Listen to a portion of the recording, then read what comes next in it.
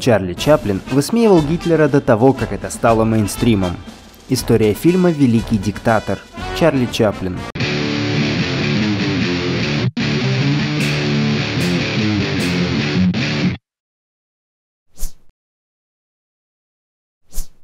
История пишется людьми, а не режимами, армиями или странами.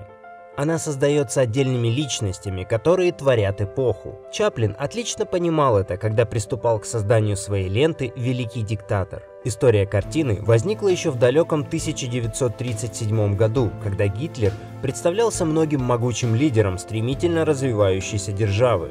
И лишь некоторые видели этот звериный блеск в глазах художника. Сходство между актером и правителем бросалось в глаза. Рост и вес двух мужчин почти полностью совпадали. Они были одногодками и родились в один месяц с разницей всего в 4 дня. Юность обоих прошла в бедности, чего уж говорить об этих чарующих усах.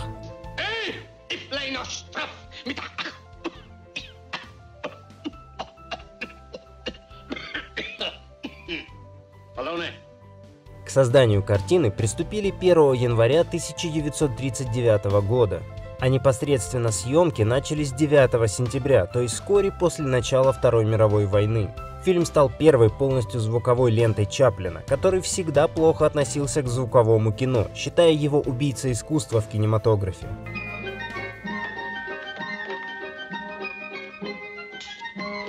Однако прогресс пришел и на его улицу. В фильме два главных героя. Аденоид Хенкель, являющийся прообразом Адольфа Гитлера, и простой еврейский цирюльник, человек настолько маленький и незначительный, что даже имя у этого персонажа отсутствует. Одного и второго, естественно, играет Чаплин. Хинкель – это грозный и амбициозный диктатор вымышленной страны Тамании. Каждым жестом и словом он демонстрирует свою роль во власти. Его слушают, разинув рты миллионы наивных таманцев, принимая на веру все, что он скажет.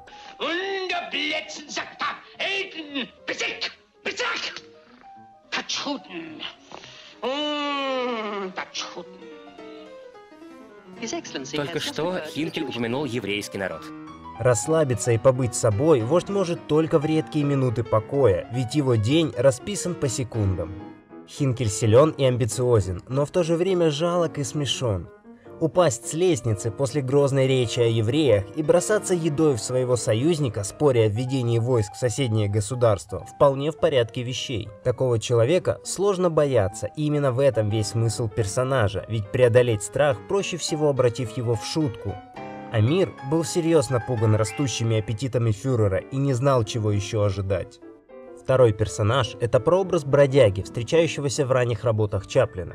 Бродяга всегда был несчастным неудачником, прогибающимся под тяжестью жизненных обстоятельств. В «Диктаторе» Бродяга вжился в образ еврейского парикмахера, отвоевавшего на фронте. Все, чего он хочет, это снова открыть свою цирюльню, и это ему почти удается, но начинаются еврейские погромы.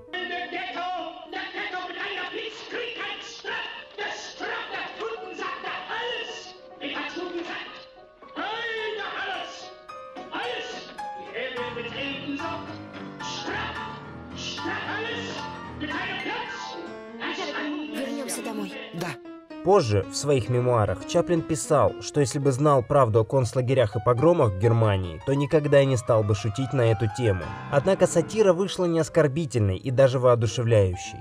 Бродяга, изображающий еврея-цирюльника, не плывет по течению, как всегда поступал его персонаж. Он не гнется под ситуацию, а идет против нее.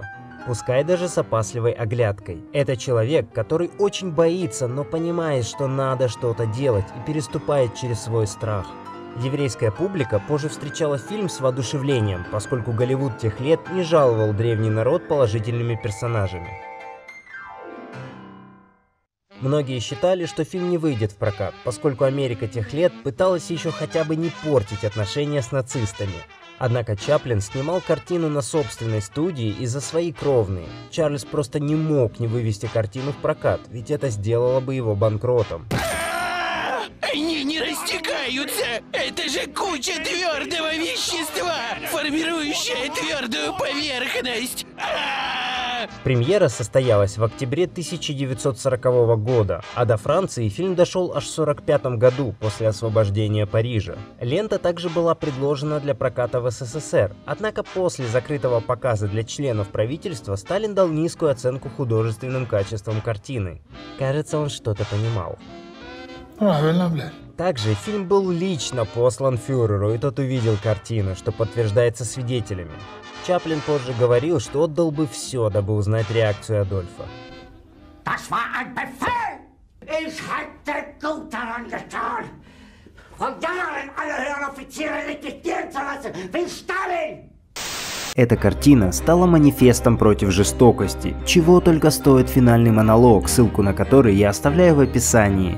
Многим она подарила надежду, а сам Чаплин подвергся серьезной критике за свою картину. Но вскоре, когда все поняли, что за тип этот фюрер, никто уже не решался ругать ленту. Великий диктатор был внесен в Национальный реестр фильмов США и получил 5 номинаций на премию «Оскар». Он стал одной из лучших лент великого Чаплина, который умел смешить и знал, что маленькие люди творят большие дела. Спасибо за внимание, подписывайтесь на канал Art Blanche, а также поставьте лайк этому видео и не забудьте нажать колокольчик, чтобы не упустить новые видео.